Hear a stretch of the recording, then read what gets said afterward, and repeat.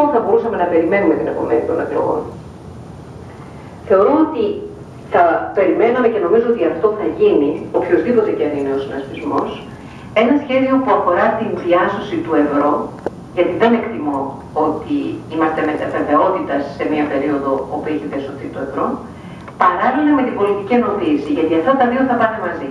Ή θα πάει η διάσωση του ευρώ και η πολιτική ενοποίηση, ή το ένα από τα δύο δεν γίνεται.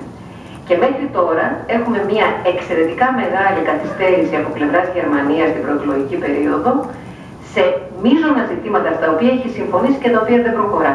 Όπως είναι η τραπεζική ενοποίηση. Χωρίς τραπεζική ενοποίηση δεν μπορεί να υπάρχει αναπνοή στη ρευστότητα στην Ευρώπη, το ξέρουμε πάρα πολύ καλά. Το μεγάλο σχέδιο που συμφωνήθηκε για την ανεργία δεν έχει εκταμιευθεί ούτε ένα ευρώ, ενώ είναι τώρα 1,5 χρόνος που έχει ε, αποφασιστεί.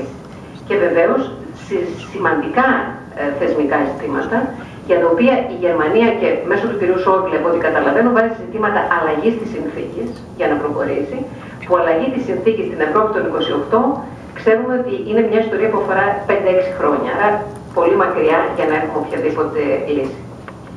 Θεωρώ λοιπόν ότι το ερώτημα για την επομένη των εκλογών είναι εάν θα κατατεθεί από την Ευρωπαϊκή Επιτροπή η οποία θα συνεργαστεί όπως θα συνεργαστεί με τη Γερμανία θα συνεργαστεί και με όλες τις άλλες χώρες ένα σχέδιο που θα αφορά την διάσωση του ευρώ και την ε, πολιτική ενοποίηση. Εκεί η Γερμανία θα πρέπει να παίξει έναν καθοριστικό ρόλο.